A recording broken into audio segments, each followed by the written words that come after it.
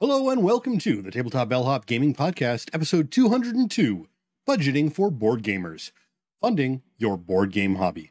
I'm Sean, your host, and here with me live, the Tabletop Bellhop himself, Moe. I am Moe Tousignant, the Tabletop Bellhop, your cardboard concierge, helping you make your game nights better. Remember that we record live Wednesday nights at 8 p.m. Note that new time at twitch.tv slash tabletop bellhop, and you should come join us in the lobby, our chat room. Tonight, we are talking board game budgets and funding our board game hobby. We're going to be reviewing Court, a modern trick taking and game and quest pyramid from Escape Welt, as well as talking about the games we've been playing lately. Now, here's an apology for those of you here to hear about session zero for board gamers or session zero for board games. I am sorry to say that is not what we're going to be covering tonight. All week, I've been promoting this live show, saying that's what we're going to be talking about. But just this morning, uh, not all that long ago, three, four hours ago, Deanna noted that we already covered this topic in detail in the past. Not even all that long ago. Um, I did go back through that episode, and I got to say, we did a pretty good job on it, and there's no real need to revisit it at this time. While we remembered talking about Session Zero many times on the show, it was as parts of other topics and during AMAs. Both of us actually forgot that we already did a full episode Yep. deep dive on this. I guess that's what happens when you get to 200 episodes. You start to forget some of the older ones. so if you are here for session zero talk, I do apologize, but I strongly encourage you to check out the Tabletop Bellhop Gaming Podcast, episode 188. Session zero is not just for RPGs. During all of our shows, we mention a lot of stuff games, podcasts, Kickstarters, publishers, past articles, old podcast episodes, and more. Find links to these things in our show notes, which you can find at tabletop dot, tabletopbellhop.com slash episode 202. That's episode 202. Once this episode drops on Tuesday. With that, let's get started over at the suggestion box. Welcome to the suggestion box. Here we share a small selection of feedback we've gotten on our content. Let's start off with an amusing but positive comment from Weird. I blame Moe for pretty much all the board games I now enjoy. Pretty much responsible for getting me into board gaming in general. Ah, thanks, Weird. Well, I actually met him during a D&D 4E E organized play event. I've really enjoyed gaming with him over the years, though I didn't really realize until this comment that it's totally my fault he's into board games as much as role-playing games now. It's also been awesome to see him out at public play events again because it had been way too long since I gamed with Sean. Uh, actually, he used to be part of my old Monday night group we talked about in the first hundred episodes of this show. Next up, a comment on our Shadow Kingdoms of Valeria review from Andrew Whipple III. Andrew says, Thanks for the review. I'll be curious to see what you think about the Rise of Titans modular expansions. As these were being developed, we thought that at least one, if not most, would be incorporated into every game. And I'm curious if you'll feel the same. Either way, I'm anticipating your thoughts. Hey, Andrew, thank you for the comment. Um, sorry, we haven't gotten around to trying any of the Shadow Kingdoms expansions. It was on our list to do, so I think we explained this during the Shadow Kingdoms review. We were gearing up to review the game. We did a preview, so you can check out our Kickstarter preview, and our thoughts on that still stand. It's a great game, great dice placement game. But the problem is, it went out of print quickly, which is good for Daily Magic Games. But we didn't see the point in publishing a full review of the final game when no one could get it. So we waited for that to come out. So we kind of put the game on hold for a long time. And it was the same for the expansion. The expansion wasn't readily available. So I didn't see the point in reviewing it. But because of that, we haven't even used it. We just kept playing with the core rules. So this is on my list to get reviewed, and I keep needing to get to them, but I, we just get distracted, right? I had uh, other games come out, a mix of new things we picked up, other obligations. I do promise we'll get to them sometime, hopefully soon. Now, I did read the rules for each of these, and I've got to say, one of my bigger complaints about that game is the lack of asymmetry, and I was pleased to see that some new asymmetric elements are added, though they're not actually based on the races. I still want each race to feel different. Well, let's finish off with a comment on our Smash Up Disney Edition review from Chris Groff. Solid review. I've always found Smash Up to be a game that I want to like because on the surface, it has a lot of the features I like in card games. But it's just clunky. The constant adding up of power is irritating. Hmm. We've used dice to track base power in the past, and that helps till someone bumps the table. I'm glad to see the additions of tokens to try and help, but still, the maths remain. There are other little niggling things I find in other sets I've tried, like the timing issues or card moves setting off chain reactions. Action paralysis is also a big Mhm. thing I find in this game, and not something I normally suffer from. On one hand, I'm a bit surprised because this is a new base set and catering to Disney fans, all of which you noted in your review. So I too would have just assumed this would be a more straightforward, good for the family ver- version. hmm On the other hand, though, even though I'm not interested, I'm glad that a Disney label on a game doesn't mean watered down. Well, thanks for that uh, extensive comment, Chris. I'm sorry to hear the game's not for you, but glad we can make you aware of that. Not every game is for everyone, and that's a very good thing in our opinion. In regards to the Disney name on games, we talked about that a lot last week during our Sorcerer's Arena review. Anymore, seeing Disney on a game honestly doesn't mean anything. It doesn't mean you're looking at a kid's game or a simpler version of a big game. And I think we're at the point now that seeing Disney doesn't tell you anything except the game's going to have Disney characters in it. It says nothing about the game weight or complexity. It's now on people to do some research before buying, which I think is probably a good thing for game reviewers like us. Well, I think that's good enough for now. Remember, even if we don't read your comment out on air, we do greatly appreciate any and all Mhm. feedback and conversations that come out of your replies. Now, I think it's time to remind everyone that the big thing we've been promoting for weeks is in the announcements. Our huge 200th episode celebration giveaway is going strong. Yeah, only three days in, it became our most popular giveaway ever with the most entries we'd ever seen. I'm not counting the one that went up to like 100,000 K entries because of bots, legit entries. And as of the start of this week, I didn't check today. I don't know where we're at, but as of Monday, we're at over 1,800 entries, which is awesome. We're not really surprised though, as thanks to our 12 awesome sponsors, we're giving away a huge amount of Mhm. stuff with 39 prizes to be won, including some of the best games we've ever reviewed. Yeah, these include games like the Adventure adventure card game from Ulisses Spiel, Land vs. Sea from and Guildmaster from Good Games Publishing, two holiday hijinks games from Grand Gamers Guild, and Blackbrim 1876 from Puzzling Pursuits. To enter, head over to https at colon slash slash tabletopbellhop.com slash giveaway. Check out the full list of sponsors and games up for grabs, along with all of the other contest details. A big thank you to all of our sponsors. AEG, Escape Welt, Free League Publishing, Good Games Publishing, Grand Gamers Guild, Hidden Games, uh, Hidden Games International, Japan Made Games, The Op, Puzzling Pursuits, Rebel Studio, Ulisses Spiel, and Unidragon. That's it for the announcements this week. It's time to answer one of your questions and let you ask the bellhop.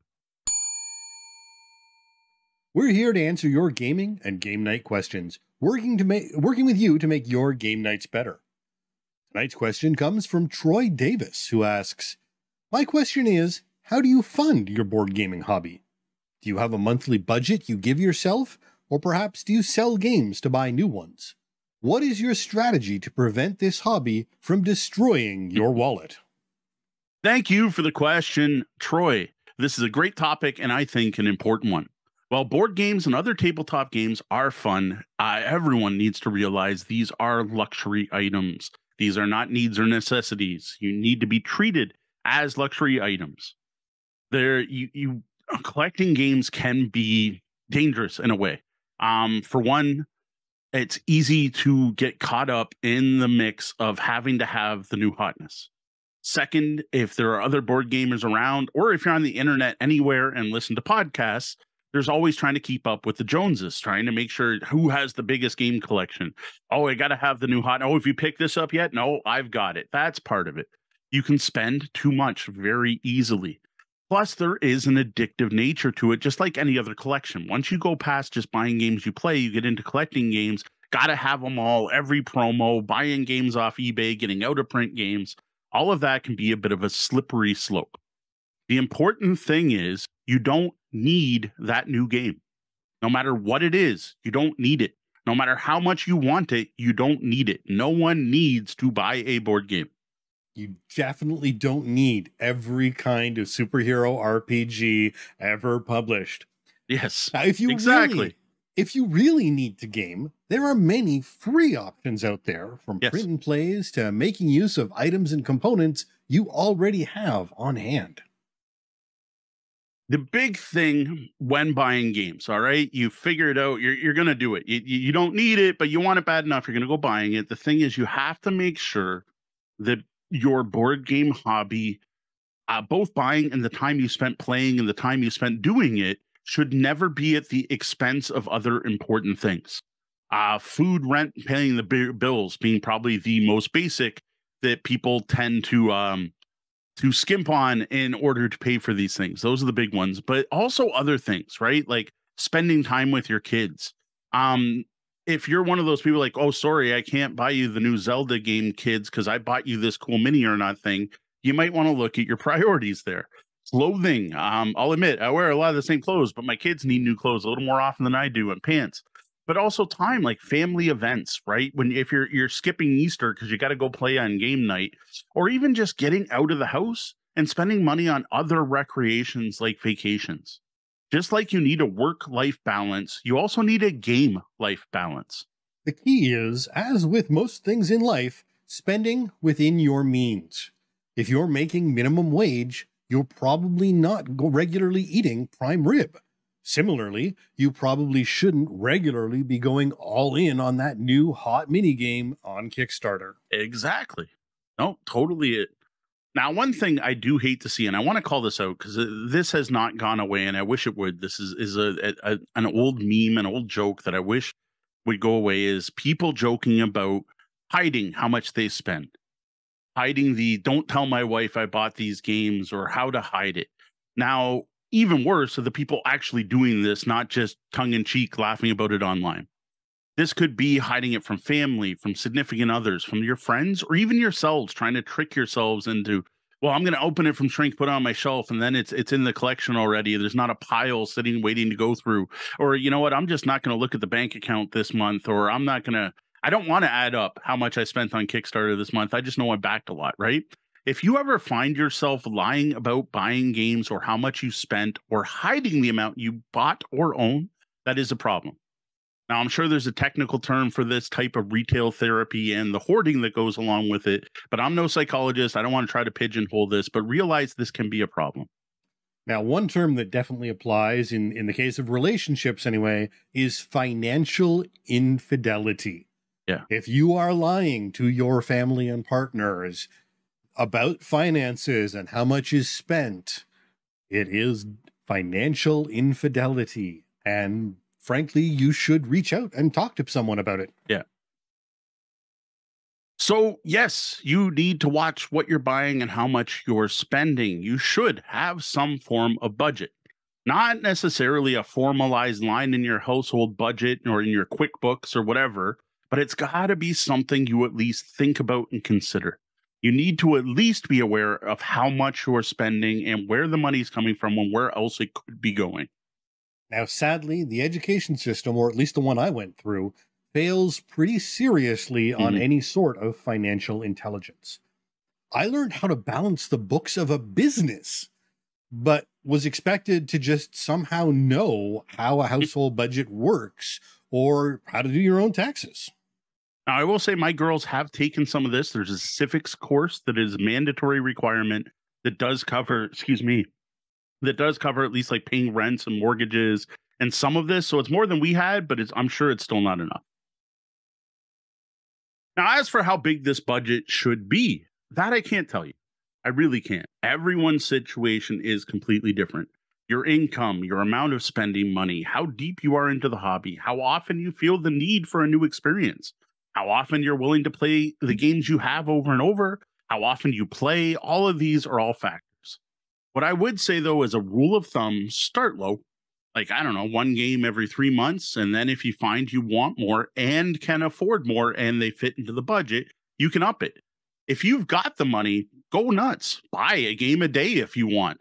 Though I got to say that gets into the hoarding thing, and you want to make sure you can actually play the games you're doing. Being a board game collector, well, it seems kind of cool. I think is generally for most people an excuse. Yes, my hoard looks great, but Bellhop's first rule: the games, the best games in your collection are the ones that hit your table. Try not to outpace it. But if you don't have the money, don't spend it. And even you can start off just by pick a game you want and save money until you can afford that game. And then pick another game and save until you can afford it. Exactly. So those are kind of some generalizations. Yes, you should have a budget. Go go ahead and buy games. We're not saying you shouldn't, but realize they're luxury items and make sure it's not at the expense of something actually more important. And yes, sometimes it takes a hard look to sit down and divide those two up is what's important because leisure activities are important.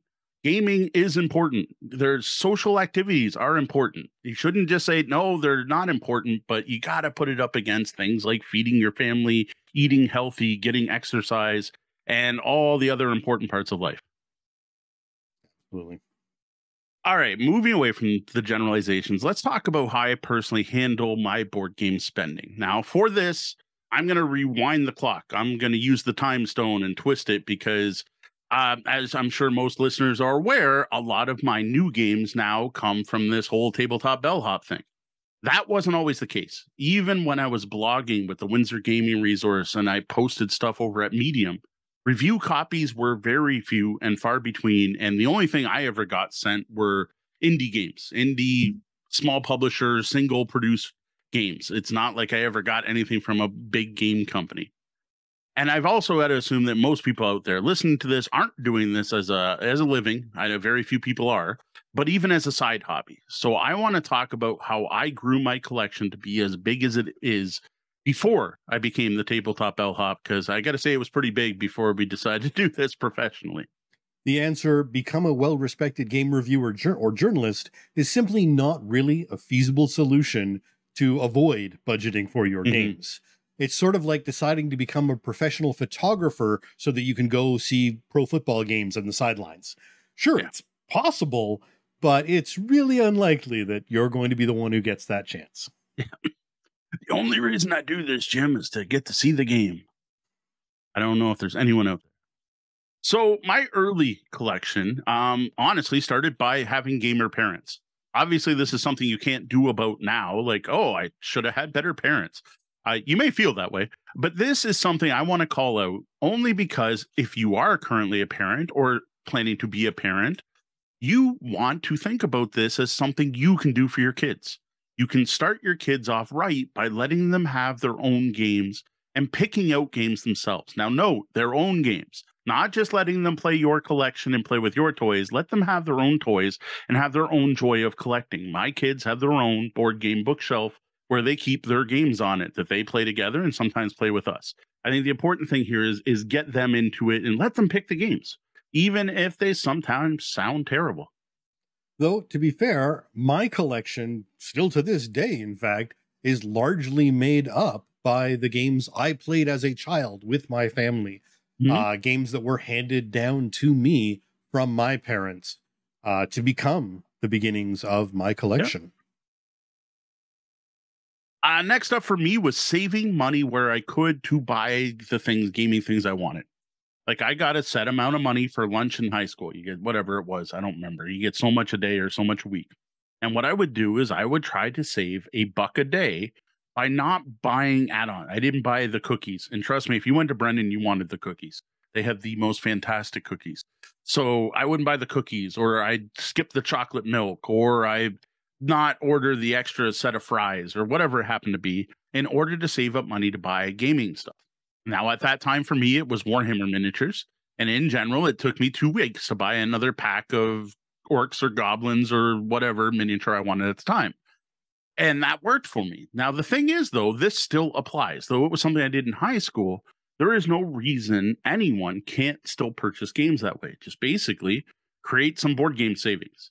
Now, I say savings, I'm not saying you need a savings account, though maybe that's the way you do it.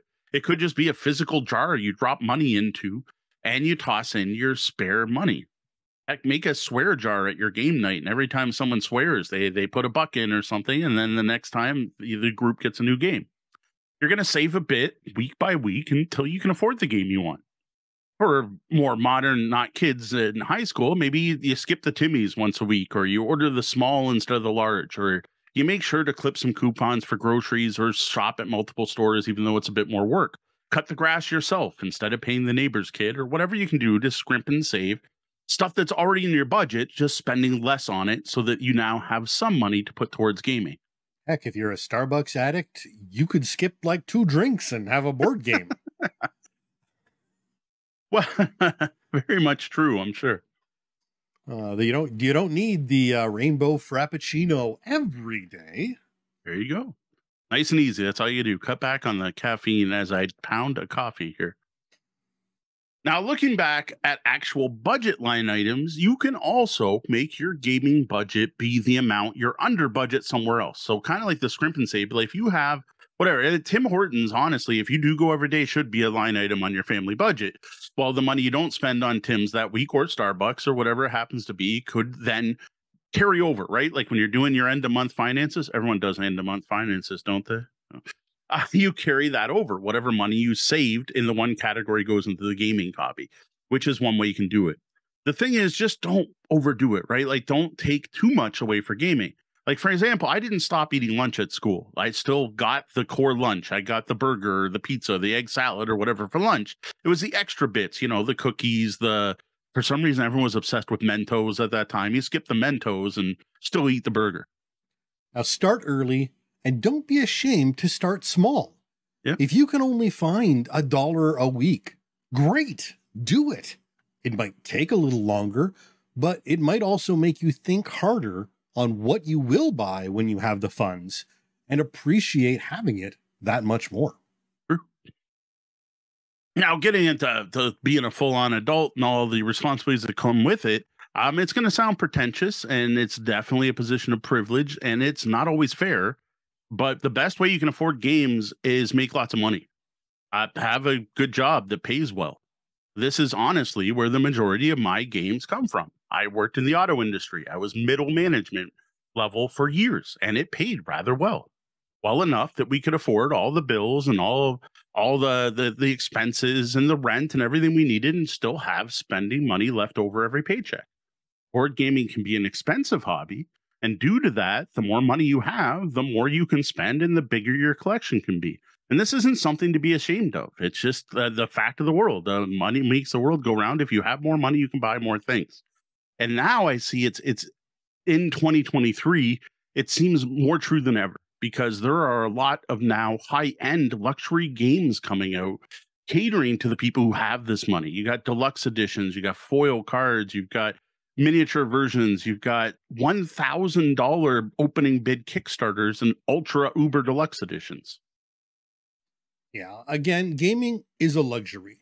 And while we all deserve some level of luxury and comfort, there's a huge chasm between having a deck of cards that you can sit back and play with over a beer and the latest big box from CMON. Yeah. Now, for me, eventually we had kids. Uh, inflation's a thing. Costs kept going up. Uh, promotions for me stopped due to the glass ceiling at work. Once you're middle management, it's sometimes hard to get to that next level. Um, and raises got fewer and farther between. And I found even my good job wasn't cutting it, and those savings diminished. Board games honestly weren't on the budget anymore. We got to that point where there were more important things that we had to pay for first. And I had to find a new way to keep up with the hobby because it was something I loved and it was a big part of who I am. And this is where I started applying what I call the gaming pays for gaming method. The only money I spent on games came from games in some way. Now, a big part of this was selling games I no longer played and trying to get the best price for them. Now, I don't want to get into details on how to do that here, but if you check out the How to Make the Most of Your Unwanted Tabletop Games article over at tabletopbellhop.com, or listen to episode 99 of our podcast titled For Sale, we do go into detail on getting the most for your existing game collection or games you no longer want.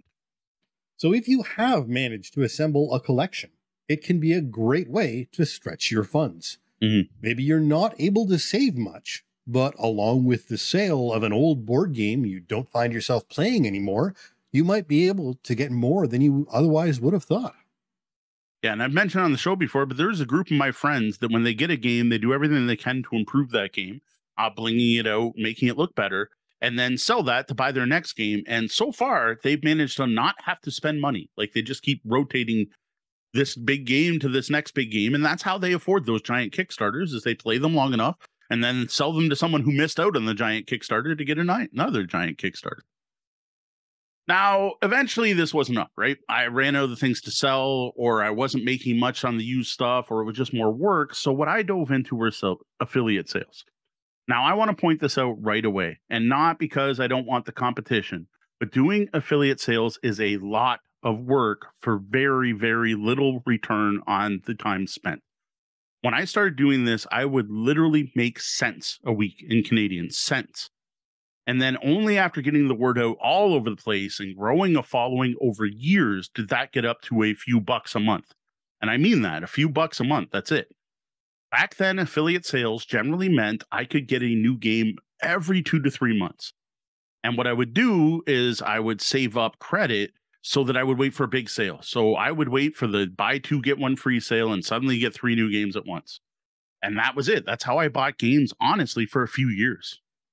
And on top of that difficulty with affiliate, there is a lot of competition for mm-hmm. affiliate sales.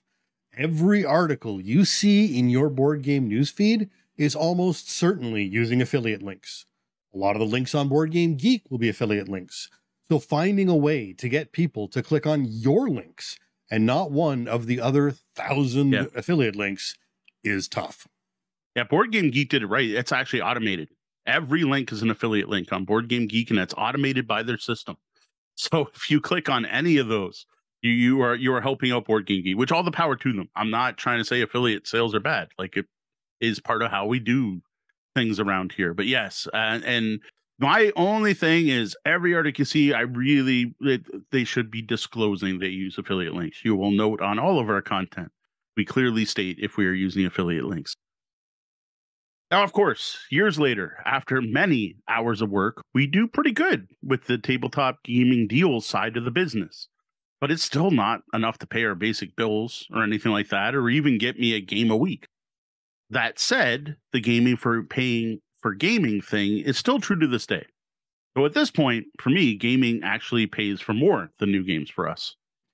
But sadly, we're also aware that this can potentially go away in a heartbeat. There yeah. have been plenty of stores who have just said, nope, no affiliate earnings on games. Mm-hmm. Now, thankfully, many of them have also learned their lesson and come crawling back, but the risk exists and is yes. real. Now, as noted earlier, most of my new collection, my newer collection, the games I'm playing lately and picking up lately, do come from publishers in the form of review copies of games. I get a few games every year as gifts as well, and I do buy the occasional game myself as well.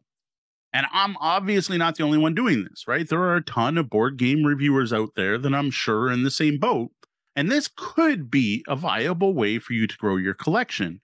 But again, realize there's a lot of work that goes into being a reviewer. And I do not think it is profitable to review games to get free games. I, I do not think that is actually a viable option you have to want to share your love of games. You have to like writing or YouTubing or vlogging or whatever case you're using to get them across. It's just not a, a, a free game is not much payment when compared to the amount of work that goes into preparing and publishing a review. We play each game five times a minimum, as we've talked about many times. We post an unboxing, a review on the podcast, and on the blog, as well as taking pictures both during gaming and as specific setups, and editing down a separate review from the podcast, uh, and having discussions with publishers both before and mm-hmm. after the product arrives and we deliver our reviews.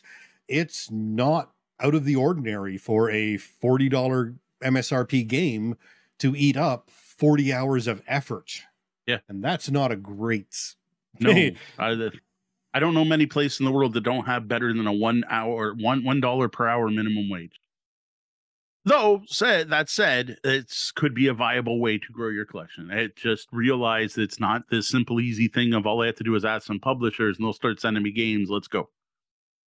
So that's how I have managed to stay invested in the board game hobby without breaking the bank. At this point, we're assuming you have a budget. You got to have some kind of budget. Again, it doesn't not necessarily even a dollar amount. Even if your budget is I spend everything extra I have, that works. Let's get to some tips on keeping the hobby as affordable as possible and staying under that budget you've set for yourself.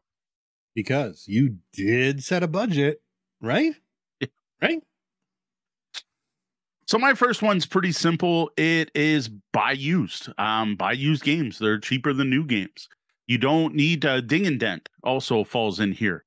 Companies have sales on used games. Your local game store may sell used games. There are fantastic, at least locally, and I assume because it's in Windsor and we're not that big, they're everywhere. Buy and sell groups on Facebook selling games. We actually have three good groups here in Windsor for buying and selling board games, which is pretty awesome. Um, there's Discord channels and so on don't pay full price. Uh, try to find used copies. If they're in good shape, you get to know the sellers. Um, I will also recommend Board Game Geeks Geek Market um, for that because Board Game Geek users are alpha gamers. They're the people who took the time to make a Board Game Geek account and they're taking the time to list their game there. In general, they care a bit more than the average person. And compared to buying a game on the Facebook marketplace, everything I bought there was not only in excellent condition, but tended to be blinged out in some way. So every game I bought showed up, and all of a sudden, like all the components are in plano, or there's like so they went out and bought stickers and put them on the meeples and stuff. I have been extremely impressed. Now, as usual, buyer beware. Um, you are it is a marketplace, but like I said, Board Game Geek self moderates itself really well, and I have no worries buying that. Yeah. Now, one question you should really ask yourself though is, do you need to own the games you play? Uh, there are a lot of ways that you can enjoy and play and, and, and delve into the board gaming hobby without heavily investing in mm. a game library of thousands of games yourself. Right. Uh, one of the primary events that we talk about on a regular basis, and Moe is, is a, a major host of in Windsor, is public play events uh, go out. Most public play events, I've yet to be be at one where there weren't games to play. That that fully expected all of the games to be provided by the people showing up. I don't even know if that type of thing even exists. Someone is providing games at those events. It's a great place to try out and play other people's games, which actually leads to another point about saving money is make sure you are going to like the games you play which is uh, something that falls under a few categories here. But public play events are a great way to do this.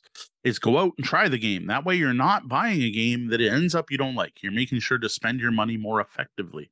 Another um, another great way to to sort of test this out in advance, uh, assuming you have one in your area, and judging by what I've seen, there aren't too many sized cities anymore that don't have a board game cafe of some sort yep. where you can pay and uh, enjoy some coffee and some board gaming time.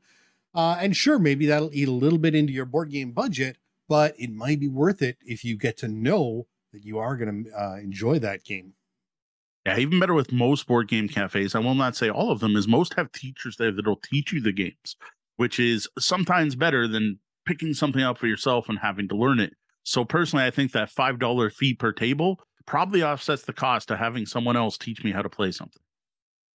As well, if you've got a big enough city or you're willing to travel a little bit, there are cons all over North mm-hmm. America and the world where you can go. And almost always these days, many of these cons are going to have some form of board game library or free to play mm-hmm. area or other people who have just brought their board games to introduce them to other people. Uh, cons are a great way to find out this, as yep. well as getting demos from publishers.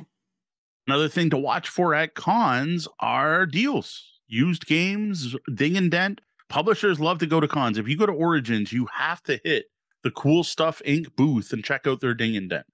Because remember, these are luxury items and their games you're supposed to be having fun with. They're not pots of gold if there's a little dent in your copy of Gloomhaven, you're able to pick it up for 50 instead of 150. Who cares about that ding in the box? Absolutely. Uh, cons also provide, sorry, cons also provide a place for publishers to promote their games. And I have learned about so many great games that I've then gone on to purchase through demos. Demos is something special. In general, a publisher running a demo event has set up a special version of the game a shorter version with certain rules in play or not in play to really highlight the best parts of the games. And they are a great way to experience lots of games in a short amount of time. Most real games or whatever full games are going to take, you know, two to four hours, depending on the game, where most demos are 10 minutes. So I can try six demo games in the same amount of time I can play one ticketed con game. And that is a great way to learn about new games, at least to do that first initial do I care? Do I want to learn more? Yeah, be aware that these demo games are obviously set up to show off the games Yes. in their best light. Mhm. Uh, they are not going to give you that full experience where you discover, oh, well, this one particular part of the game I don't enjoy. But they'll give you a good idea for the general theme and feel of the game, uh, which may be enough to push you to find out more. Yep. Another great way is digitally Yes. uh, between Board Game Arena and all of the other online board gaming sites out there nowadays, especially, I I hate to say it, thanks to the pandemic, that a lot of them grew yes. uh, and became uh, more more popular and uh, better ways to play online games, whether to play be- so that you don't buy or to play so that you can learn whether you would like to buy. Yeah, and that includes also uh, Tabletop Simulator, Tabletopia, and all the other virtual tabletops as well, and Steam versions of games. Steam has fantastic sales, as everyone knows. Um, we've now fallen in love with Humble Bundle as, or sorry, yeah, yeah, Humble Bundle, not Bundle of Holding. Humble, Humble puts games on sale all the time, way cheaper than their physical version. Plus, the digital versions are generally cheaper than the full game anyway like the digital version of Terraforming Mars, I think is 30 bucks, whereas the full box is 60. There are also a number of mobile versions of a lot of these games uh, Mhm. as well. Uh, and mobile games are often going on discount. Now, another one that's come up, and I have not tested this myself in Windsor, so bad on me, but I see a number of people talking about taking out games at their libraries, including um, events at the libraries that they can play. But not only that, like just games on the shelves where you show your library card or your library app in most cases nowadays. And then you get to take the game home and you get it for a week and you have to return it back, just like getting a book. And I have seen a number of people talking about the games they've been playing from their local libraries. It's a bad on me for never checking to see if the local library has anything like that. Should probably get more involved with them. Uh, absolutely. Uh, and then once you've either decided you want to buy a game or have figured out, you know, played a demo, ex- learned the experience, played it enough on Board Game Arena that you just really need to have your own copy, look for sales. Yeah. You know, there's there's a lot of sales out there, and if you are on a tight budget, uh, there are both sales both at your friendly local gaming store, so you can support local, but also we understand that sometimes you just don't have the money to spend at the friendly local store. And as much as you'd like to support them your budget doesn't allow it. And online stores may be the solution. And in that case, I got a, a little bit of self promotion. You can follow tabletop underscore deals on Twitter or Good Geek Deals group on Facebook or now tabletop gaming deals, all one word on Dice Camp for those of you who have fled those other social media sites, which I fully understand. Um, that's that's I share sales on online deals, and yes, most of the links are affiliate links, but not all of them. We share any good deals we find. Um, but yes, I, it makes sense, right? Like if you can't, if you can afford it, please support your local game store. If you can't afford it, please do something else to support your local game store, especially if you play there. Yeah, promote them, share them, tell your friends about it, use their resources, buy what you can buy. Like if you can't afford all the D and D books, you can at least buy your dice at your local game store, for example. absolutely uh, Now, and- on, go ahead. Uh, the other there, once you're there, as well as things, there are Facebook groups, especially localized groups. Yep. Uh, and this actually gets into localized groups on Board Game Geek as well. Uh, but game find groups on whatever your preferred online social media site is that are other gamers in your area. There may be ways to pass games around and trade and and cooperate with each other to expand your library without actually buying Mhm. but making use of other board game resources already there in your area Yeah, there's a, again, there's some great Facebook groups for here for selling games. What I don't see a group for is trading games, but there are a number of small like board game groups and RPG groups and D&D groups and sometimes groups for specific games, miniature gamer groups, where it's a great place to trade, sell your old games. Um, the local miniature gamers seem to pass their stuff around a lot. I've noticed. Um, even local game stores sometimes have uh, Facebook groups as well. I will call out Solon's Tabletop Renaissance group. If you are looking to get a miniature you know, or you're you're you're looking to get something painted, that's the place to go. Um, trading games is great, however you do it. We used to run um, RPG book exchanges where we let people get rid of the stuff they're no longer using to get new stuff, and that's always gone well. But I gotta say, the ultimate way to trade games, um, though it's a bit of a mess to get into, but once you figure it out, are math trades. These are a thing where there's there's math, uh, an algorithm in the background that basically everyone puts in all the games they want, they put in all the games they have to trade, and then it does all the math for you. So it might be that I give a game to Sean, Sean gives a game to Deanna, Deanna gives a game to uh, Tech, and Tech gives a game to Sean, and then Sean gives a game to me. And in the end, we're all happy and we all got what we wanted without any of us actually knowing each other, like interacting ahead of time. No deals made, no, there's no bartering, there's no, well, that's not worth it. It does all the work for you. Yeah, absolutely. Math trades, again, they're really hard to organize, but if you can find an established uh, organization, a group that does math trades, uh, where someone who is familiar with the system and the uh, the algorithms behind it is mm-hmm. organizing mm-hmm. it, you can really make get a great uh, return on value, or not return on value, but uh, a great benefit from getting rid of the games you no longer want and finding some new to you versions. And this is another one for cons. Breakout Con happened this last weekend.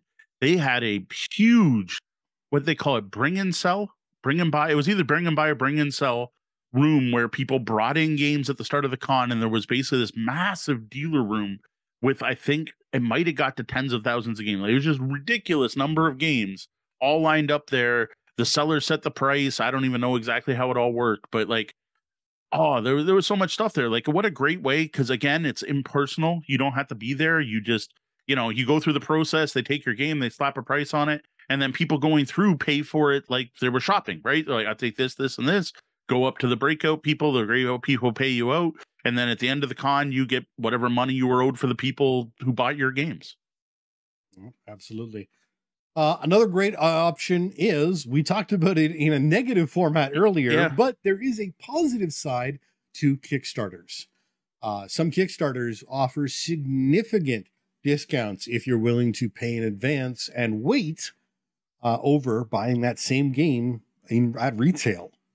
Yeah, you also often get promos and things like that that are worth it. And I will throw in one bonus tip um, you can often pay for a Kickstarter by not holding on to that bonus stuff because there will be people with it, assuming it's a big enough Kickstarter, who feel they missed out, whose FOMO will be strong, and will pay you for you know that neoprene mat as much as it might have cost you for that entire Kickstarter. I I happen to know that one from experience. So, speaking of a specific Cool Mini or Not game, just be aware though that if you're looking for that uh, retail therapy buzz, that feel of, you know, oh, I got a new game and it feels great. The the time shift involved in Kickstarter yes. can often really sort of suck all the air out of that. Uh, mm-hmm. as as you can in certain you know basketball type games wait years to see that game finally arrive after you've paid or you could get nothing for your money, which has happened to me in the past. Absolutely. And then we were saying Kickstarter. By that we mean all crowdfunding. I got to stop using Kickstarter as a like as Kleenex. It's a Xerox. Kickstarter has become Xerox. I know, but it's still we shouldn't be. We should. We we should be saying GameFound Kickstarter crowdfunding game on our sources. crowdfunding. Yes, crowdfunding. Now, what a lot of crowdfunding has become is a pre-order system what you should look into, though, is pre order systems from publishers. There are a number of them doing this now. Uh, Stonemaier Games is one of the more recent I've seen that stepped up doing it. There are a couple others. And what they tend to do, uh, the biggest example is the P500 system from GMT Games. Every GMT game ever published and will ever be published goes through this. If it's a brand new game, it's like, okay, we're thinking of making this brand new game. Here it is if 500 people order this, if 500 people sign up now to buy it, we'll do a full print run, whatever that is, 5,000 copies, say. I don't know what their print runs usually are. If it doesn't hit 500, we don't make it. So, in a way, it's a bit crowdfunding, but it's really a pre order. But what they do to encourage people is they give them a significant discount for being part of the P500 program. Now, other companies are kind of mirroring this, but what they're doing is they're giving either uh, discounts, but what I'm seeing more often is the first expansion free or some promo card or some little extra thing for helping to pre order it. And I'm seeing this from companies who are moving away from Kickstarter. So it's kind of an evolution of the pre order system, the Kickstarter stretch goals, switching over to publishers going, why am I using a third party? I can do this myself. Well, I think one of the largest ones would be Hasbro's pre-order yeah, Pulse. system, Pulse. Hasbro Pulse. Uh, uh, the next one is uh, enter a giveaway. Like we got a really big 200th episode giveaway with 19 gaming prizes in it. All games we strongly recommend. Uh, though I'll admit, I haven't played the one from Grand Gamers Guild yet. We have not played their holiday hijinks, but all the rest of them we we've played, reviewed, and enjoyed. What better way to get games instead of just you know supporting your favorite content creators, your favorite publishers, and uh, possibly getting the game free. Sorry, 39 prizes. 39 prizes. Uh, yeah. So another option, and this is one that we ta- that got talked up a little bit in our Discord earlier, is shared group libraries. Uh, mm-hmm. You don't need to buy the game if, especially if you're not the only one who's going to be playing it. If you have a gaming group, the costs of that game can be spread out amongst the group. Mm-hmm. Uh, so if you have, uh, you know, five people who always get together every Wednesday night and play board games, you can look at splitting that game five ways yep. in cost, and everyone essentially group owns that board game. Now, another way to do it too that makes it so that you're not necessarily arguing if someone leads the group who gets to keep it is rotate who buys the games. You got five people. I buy one game, then Sean buys a game, then D buys a game. We each have our personal collection, but we play them with the group. And I'm going to call out something from the chat. I know we don't usually interrupt this section of the podcast for the chat, but um, Chicken Barf, welcome to the show. First time chatter called out the problem they've had with P500 is the GMT games have a ton of errata. And so it kind of sucks buying them first. You get that first printing. And I've got to say, I kind of see it because most GMT games tend to hit their stride around the fourth printing. So yes, I can see that. But I guess like again, if if the only way you can afford the new um, post-apocalyptic Thunder Road game is to back it at P500, then you just got to keep up with the errata online, and that's better than not being able to have the game. It's not like the Kickstarters we we all like love to back and GameFound games don't have the same sort of problems. So it's it's far from a unique to P500 issue. Which uh Anshi Games replied that it also sucks when your paid copies are beta testers. And I gotta say, here's another way. You can play test games. Publishers are always looking for playtesters. It's surprisingly easy to get in as a playtester on various games. Now, I will say nowadays most publishers are, are are saving money by using digital tools to play the games. They tend to use Tabletop Simulator or um, Tabletopia or something like that nowadays, which just makes sense because then you can play test your game all over the world without having to ship anything. But if you really want to be on the cutting edge, it's surprisingly easy to play test games. Way easier than say getting review copies. Absolutely, and many times it's as simple as joining a Discord, Discord and paying attention to uh, yep. announcements. But one thing that really helps keep the budget down, that really is you know, some one of the cheapest solutions out there is play the games that you already own. Yep. Again, you don't need that new game. Think of the one you just bought, the one you saved up a buck a week 10 years ago when you didn't have such a good job and you finally got it and you were so happy to bring it home. Maybe you dust that off and play it again. I've got games behind me from the 70s that still get played because they're fun. Yep. There's no reason that you have to play the brand new, shiny, big box game from this or that company. There's a lot of games out there already that you know probably have. Uh, and I mean, worst case, get a deck of cards and pick up a pick up a copy of Hoyle and Yeah. uh, there's a few hundred games you own right then and there. You go to the tabletop bellhop blog, we've got an entire article with over a hundred RPGs you can play with a standard deck of cards. Note, not all of those are free, but some are. Uh, or go to the tabletop bellhop and look at the free print and plays Yes. listing, where for the cop for the uh, price of a little bit of ink and paper, you may have a whole new board game that you love. Yeah, I think we've got over 300 games on that particular list. Games or expansions. There's some, some expansions for games. Um, the next one, I I realize this one this one's a little and does upset some people, but you know what? You do what you got to do is make money from your collection. There is people out there who rent their games, like rent them to other people to use them. There are people who will go to a stranger's house and run a game night for them for a fee, uh, usually not an insignificant one. You could run events at the Family Local Game Store, maybe in exchange for games or store credit. You can host a board game tournament in your local area and keep a portion of the entry fees to compensate yourself for your time and for any wear and tear on your games. There are ways to monetize your board game collection, and there's nothing wrong with doing this. I realize people seem to think a hobby means you can't make money on it. I gonna make you ding the bell and say that's bullshit. Yeah, absolutely. I mean, there's a reason, you know, people are going out there and DMing games for money. Well, there's really very little difference between the effort involved in setting up uh, and building a scenario and, pl- and playing that with a group of people or taking a significant, you know, Euro game and teaching it and, and helping a group of player, players play that game. Uh, there's very little difference indeed. Uh, and so why one should be accepted while the other isn't is beyond me. Though I gotta say the paid DMing isn't accepted by a large group of people either, but pay people for their time effort. That just Mhm. should be something the world needs to start doing better at.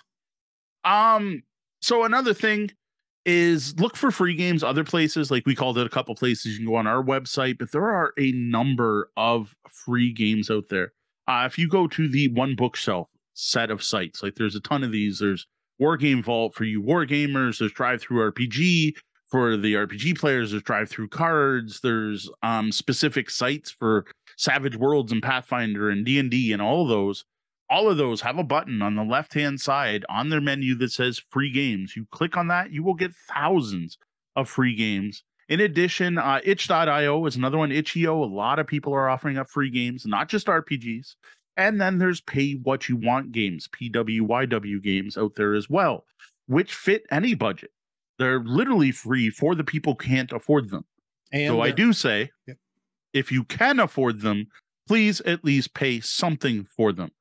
Absolutely. As well, there are uh, copies available for free from uh, for people who are who have needs.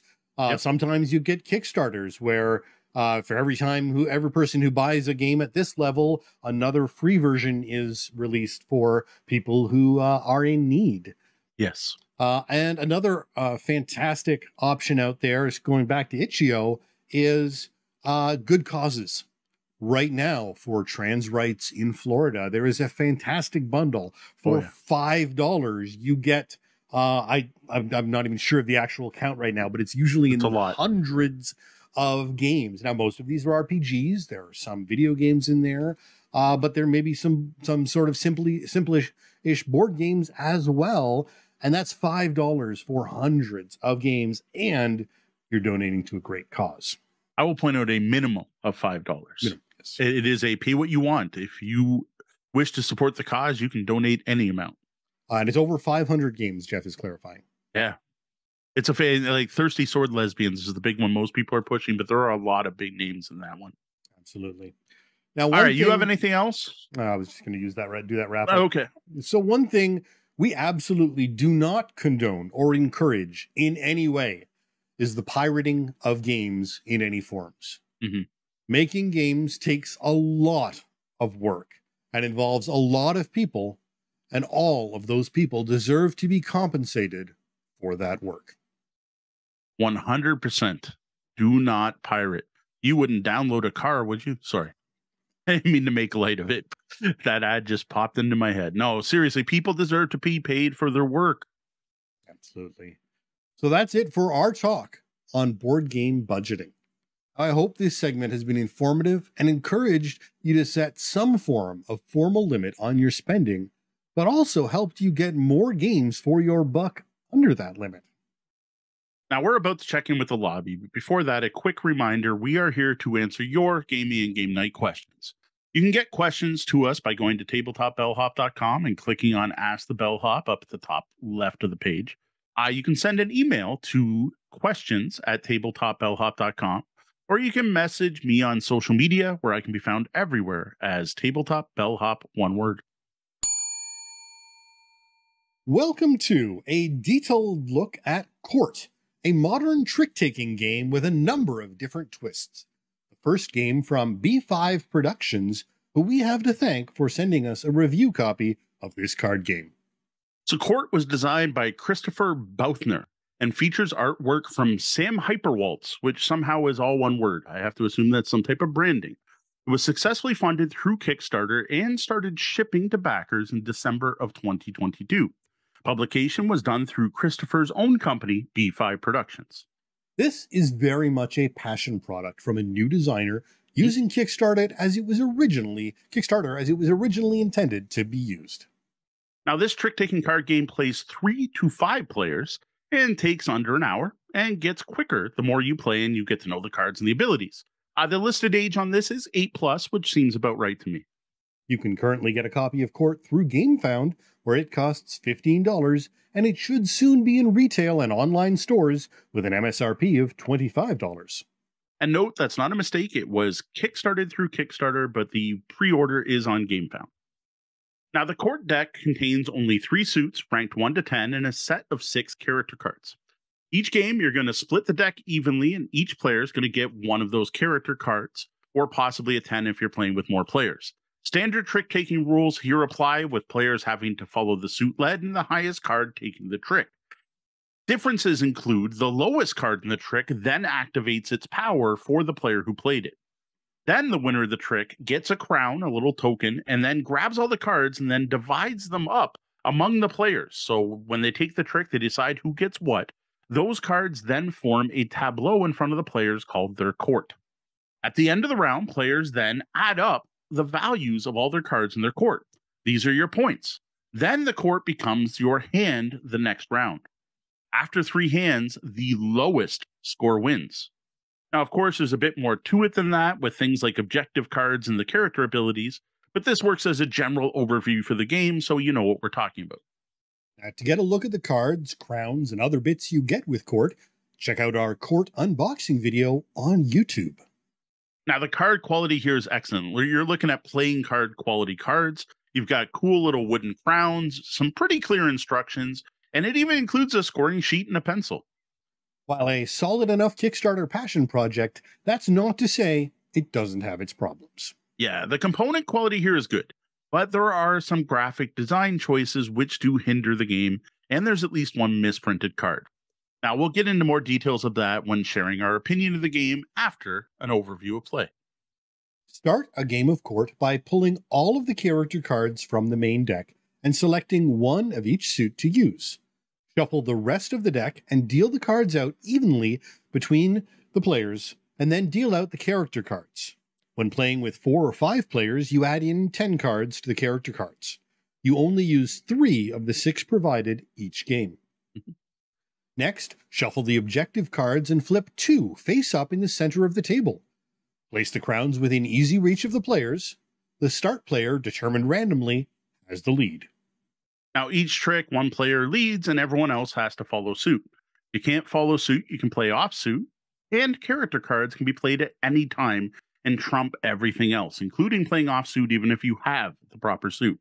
Now, the player who played the highest ranked card of the matching suit or the highest character card wins and takes the trick, as well as one crown token. Then you find the lowest played card in that trick. If that card has a power on it, it triggers for the player who played it. Here, though, offsuit cards count as zero, so throwing off suit is a good chance your card's power will go off. Only odd numbered cards have powers, and these range from swapping cards in your hand and your court, swapping cards between courts, getting to choose the card you win from a trick even if you didn't win the trick, causing a player to discard crowns and stealing a crown from an opponent. Now, character cards count as the lowest card played for this as well. So, in general, if you win a trick with a character card, its ability will go off. Mm-hmm. Now, the winner of the trick then divides up all the cards in that trick to the each player. Uh, each card going to a separate player, one card per player. These are then placed face up in front of the players, forming their court. When dividing up cards, though, you cannot give yourself a character card. After the trick is done, any player can claim one of the face up objective cards if they qualify for it. They include things like getting three crowns in a row, having a pair in your court, or other things like that. Now, the player who won the trick gets the next lead, and the round continues until everyone's played their full hand. Players then calculate their end of round score by adding up the value of their court with characters being worth zero. You then subtract two points for every crown you've earned. Everyone then returns all of their crowns to the table. Any taken objectives are replaced by new cards, and players pick up their courts, which become their new hand. The player with the most points gets the lead for the next round. You do this for three rounds. At the end of the game, players total their points for every round, subtract points for any objective cards they've claimed, which are worth five minus five points each, and the player with the lowest points wins, uh, sometimes known as golf scoring. In addition to these rules, you can also play court in teams when you have four players. When playing this way, the team only scores the points for the player with the highest total. Mm-hmm. That's pretty much it for how to play court basic trick taking mechanics with a bunch of other stuff tossed on top. Now, when I learned about Court, I knew I had to check it out. As you've surely noticed, if you watched more than one episode of our show or one, one of our videos, we love trick taking games here at Tabletop Bellhop. We've reviewed a number of them in the past, most recently Thrones of Valeria from Daily Magic Games. We've also reviewed Macaron, Gorus Maximus, and the crew, for example. We also love games that do something new and are always on the lookout for unique games. Court, a royally clever card game, fits in with both of these things. Now, of all the trick taking games we've talked about in the past, this one probably is the most unique with the most new things being added in. It offers up quite a few differences from traditional playing card games. This includes the fact there are only three suits, the way face cards are used, the objective cards, the entire court tableau system, the fact odd cards have powers, and the entire lowest score wins victory condition. This is a lot of changes in one game. Mhm. And we think this is going to be the big thing that determines if court is right for you and your group. Now, personally, I like all these additions. As an experienced gamer, I've seen all of these before, just never all together and never lumped in with a trick taking card game. I do worry, though, that traditional card game players, or even more so, someone who's not familiar with trick taking, is going to find all of these overlapping rules to be overwhelming and confusing. Now, I sit on the other side of this for Moe. While I certainly enjoy trick taking games, this one just didn't quite work for me.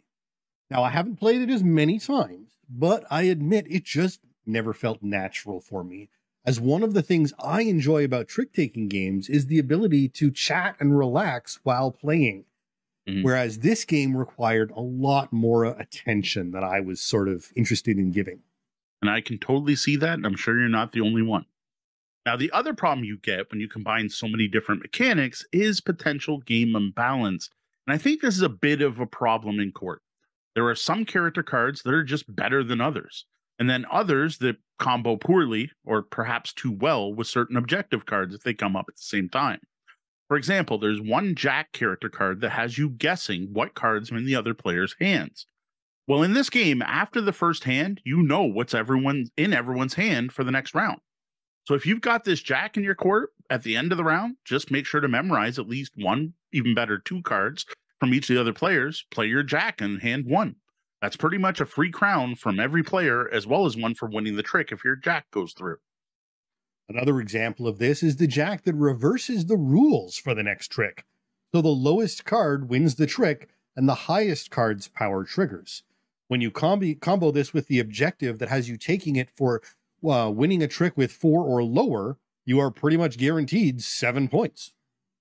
Well, minus seven. Minus points. seven points. Yeah, these interactions make the game feel like, as a whole, it probably could have used a bit more development and play testing to me. At this point, we've actually chosen just not to use those specific cards, though you're still kind of stuck with one of them because they're both jacks. Now, listeners know we're not a huge fan of having to house rule games, so I think this is notable that we've done so for this one. Now, on a similar note, there are some inconsistencies between the cards, the rules, and the various powers. For example, the rules talk about royals. You use your royal to do this, you use your royal to do that. And then later in the same paragraph talks about characters. And it took a couple seconds to realize they're talking about the face cards, which are the same thing.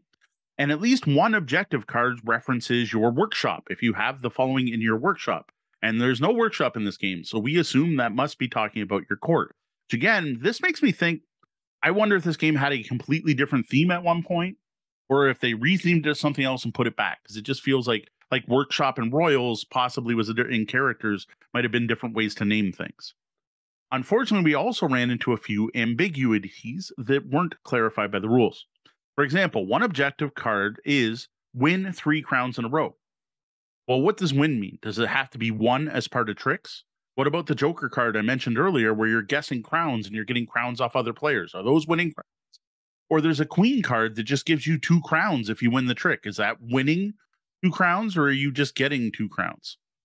Now, I will say it's pretty easy for your group to have a short chat and decide how you want to play it when these come up. It would have been nice to find some kind of official clarification here. Interestingly, despite the game already being delivered to a majority of backers, there aren't many questions or comments no. on Board Game Geek to help players get official answers. Now, this problem ended up being extrapolated when playing in teams of four players. The four player rules are one short paragraph in the rule book with no adjustments to play except for scoring. But then you start playing and questions come up like, hey, wait, can I give my partner a character card? because the rules say you can't keep a character, but they don't say where you have to give it if you can't keep it. And it really feels like you shouldn't be able to just pass characters back and forth, but rules as written, that's legal. Indeed, passing characters to your partner so you officially obey the can't keep them rule was quite broken, it seemed, yeah. as it allowed to a team to collect and keep all of the face cards, which made them nearly unbeatable in over three rounds. Yeah. And that's only one example. There were other things that came up when we were playing four players as well in teams. Now, the biggest problem we had with Court, above all of this, though, is the graphic design. There are a number of minor issues here that maybe if only one of them was in the box wouldn't bother me, but altogether is pretty significant. For one, they chose the three suit colors to be red, green, and black. And not having color blindness, even I know these are terrible color choices when looking at vision issues, especially for people who have red green color blindness, like my dad had. Uh, for people with this issue, I ran this through like a website where you can test it. The red and green suits look to be the exact same yellow. Now, to be fair, each suit does have a different symbol for it, which does make up for this somewhat. But I just wish they'd gone with a more colorblind friendly color. Like there are thousands of colors to pick from. Why did you pick red and green? And the symbols are small as well, which, depending on your visual acuity, might not help differentiate them as much as they could. Next, you have the card text. It is super tiny, both on the game card as well as the included reference card that tells you what all the card abilities are. Now, there's text on every single one of the odd numbers cards, and half the people I played this game with had to either grab their reading glasses or a magnifying glass to be able to read them. This is a case where clear iconography and just a description of what icon means in the rules would have been much better suited than actual words on the cards.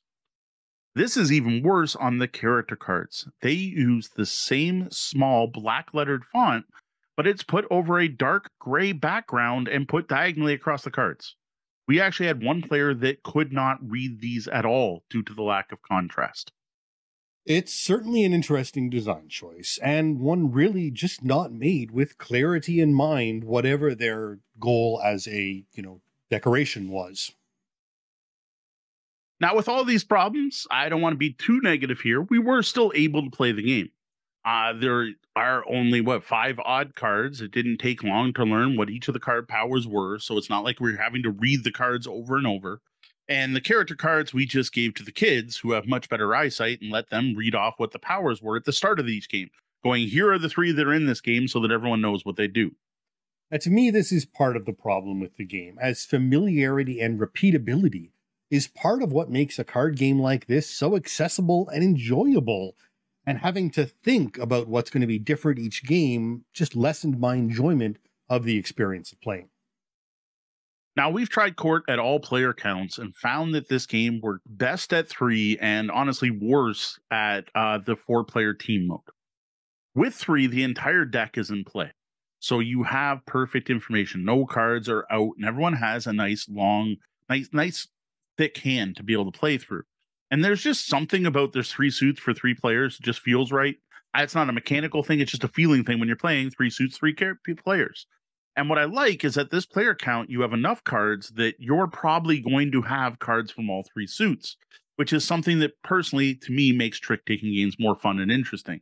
Where your goal in part of the game is probably going to be to void yourself of a suit. To me, that's a key part of playing trick taking games, which you didn't really see at the higher player counts. So you didn't have as many cards and often only had two suits in your hand.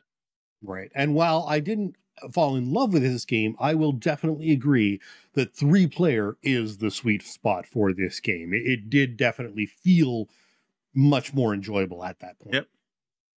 Now, looking at just the gameplay of the game, ignoring all any production issues or ambiguities, I liked the gameplay here. I liked what they were doing. Now, the best part in this game, the the really brilliant thing is the court system and the way you split the cards up at the end of a trick. This is a very cool mechanic with surprising depth. When you first hear about it, probably anyone listening right now is probably thinking, well, you just take all the low cards. That way you get the least points, right? Well, the, by doing that, you end up messing up your next hand because you're going to have to pick up that whole court. Now you're going to have a handful of low cards and you're probably not going to win a lot of tricks the next round. And not winning tricks means not getting crowns and not getting minuses. Plus, not winning tricks doesn't let you divide up the cards to try to get those objectives. So you have to plan around what card powers you have as well. So if you don't mind, you don't mind taking the 10. If you got a one in your hand, you can play later to pick up that 10 to then use to use another trick to give that 10 to someone else. It's the whole thing for this game. There is a huge amount of strategy and planning. And honestly, compared to all the other trick takers were played, perhaps even more strategy than any other. And this is where things to sort of sort of start to overdo it for me. I think if this had been a three suit game with this split card collecting for the next hand Roy, uh, tableau in front of you, this would have been a fantastic game that I would have enjoyed. But then you add in the powers on top of that, and that's where I find it starts getting a little bit too busy for what I was wanting out of the game. Totally fair. So I'm tempted to try a game now without the powers and see how it plays. Now, another thing I want to note, which I did mention in passing before, that is that every player in this game has perfect information as soon as the last card in the first round is played. At that point, you not only have seen every card in play in the game, but exactly what cards what players are going to have in their next hand, which makes the game extremely tactical and really rewards card counting. Together, this level of strategy and tactics is a mixed blessing not everyone who plays card games enjoys counting cards. Some people just want to focus on what's in their hand and play more casually, and that doesn't work well in court. If you can't be bothered to count cards and keep track of what's been played and what hasn't and who has what, you won't do well against another player who is doing this extra work.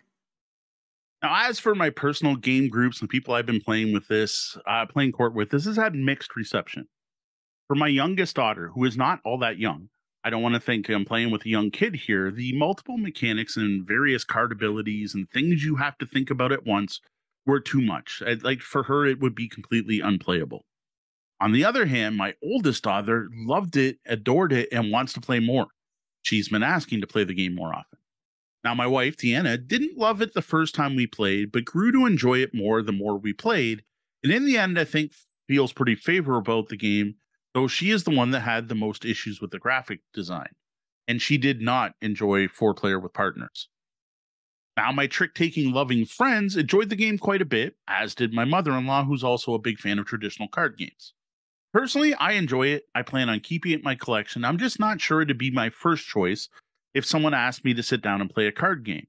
But if someone asked to play it, I'm not going to say no. And for me, it, it unfortunately just never landed. Uh, maybe if I continued playing it, I might come around, But with the number of trick taking games out there, I'm not sure I want to learn to love a game when there are many I did love from my first hand. Overall, I dig Court. Feels like a traditional trick taking card game with a bunch of additional stuff thrown on top. To me, it's got kind of a trick taking for hobby gamers vibe or like expert level trick taking game um, with the mechanics. And I, I only wish that this feel was backed up with a hobby card game production value to go with it and graphic design. What I would personally love to see this game is for it to do well enough, enough people to buy it to get a second printing. And then have that second printing improve on the existing problems. Give me a nice, clear reference card listing all the card powers, toss in some iconography on the cards, swap to a more colorblind friendly colors, and clear up any ambiguities. As it is, we enjoyed Court, but it could be better. At the very least, some of the ambiguities need to be clarified in an FAQ on Board Game Geek or elsewhere. Uh, one thing I've, I've been thinking, and actually I didn't even put this in the notes, is this game would be fantastic as a trick taking tournament game. Mm-hmm. For people who really want to take this seriously, uh, you know, in, in, in any sort of tournament situation, this game is great because it really does play well for competitive card players. Yep. I can see that. Now, if you enjoy traditional trick taking card games, uh, especially games like Spades, you might want to check out Court. This is especially true, though, if you happen to have a group that often ends up being only three players. There are not a lot of trick taking games out there for three. Yeah, this is definitely a bonus, as many trick takers are more even player count oriented. Now, if you are a card gamer who loves card counting and playing against opponents who do the same, where the skill is in reading the other players and playing through your hand in the right order and not the luck of the draw, you're going to love Court. This card game is a card counter's dream due to the fact that after that first round, everyone has perfect information. My dad was this kind of player, and he would have adored this game, especially if we started playing a penny a point. If you're looking for a more casual trick taker where you can enjoy the conversation with friends and not fixate on the game, this might not be the one for you. Yeah. And if you haven't played a trick taking game before, or at least new to this style of card game, I would say you should probably stay away from court. There are a lot of additional mechanics tossed on top of the whole I lead, you follow mechanics found in a trick taker, and I think it'll be overwhelming. Personally, I'm looking forward to trying this game out with more people, perhaps bringing it out to a public play event, uh, and hopefully catching some traditional card game players who haven't really experienced modern trick taking games just to see what their th- thoughts are. Well, that's it for our review of Court, a trick taking card game, and a lot more. Perhaps a, too, a bit too much for traditional playing card players, but lots to munch on if you like crunch hmm. and card counting. We're always on the lookout for new trick taking games to try. Do you know of one we haven't played yet and should check out? Let us know about it in the comments below. Also, be sure to like, subscribe, follow, ding the bell, thumbs up, or do whatever, wherever you are, has you do to show you enjoyed this review. After that, I invite you to check out my written review of Court over on the blog where I was able to get into more depth than we shared here. That's at tabletopbellhop.com. Join us as we check out the Quest Pyramid a wooden puzzle box from Escape Welt, who we have to thank for sending us a package of puzzles to check out. Don't worry, we won't spoil anything for you, though we do have one tip. So we first discovered Escape Welt's escape boxes during the holidays of 2022. Escape Welt started off as an escape room company that shifted to being a wooden puzzle company during the pandemic and now ships their puzzles all over the world.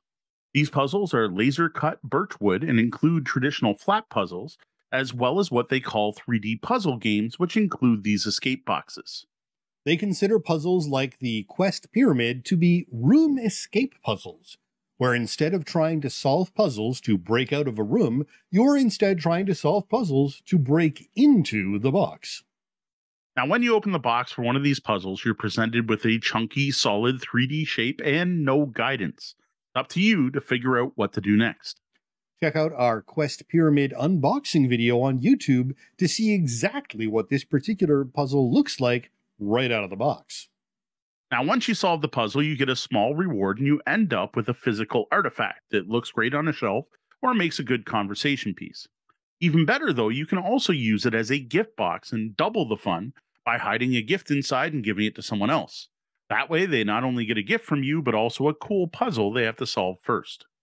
While that's true for all of Escape Welt's escape boxes, let's talk about the Quest Pyramid in particular.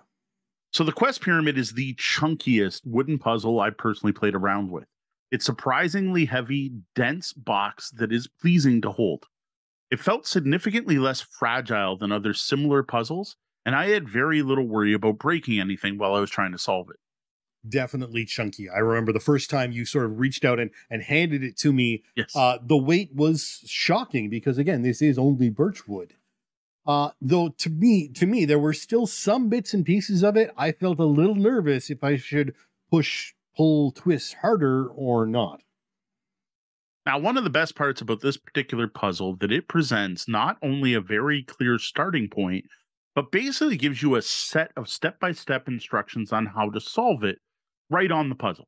Now, I don't mean it gives you the solution. It doesn't tell you step by step what to do, but at least gives you hints on what to look for first and what you should do after that, and so on.